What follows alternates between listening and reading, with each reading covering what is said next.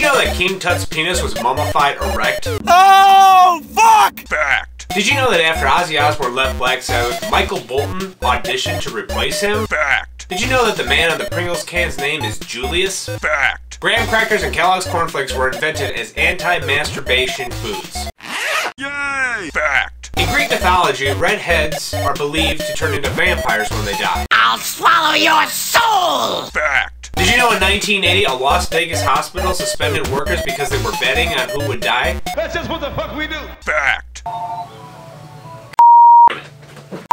Sunglasses became popular in the 1920s because actors wore them to keep out the camera's bright lights. Fact. In ancient Greek, the word idiot meant anybody who wasn't a politician.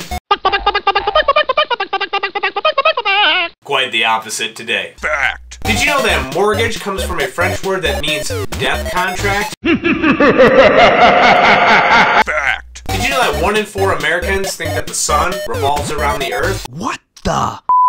If you think that, you are an idiot. Fact.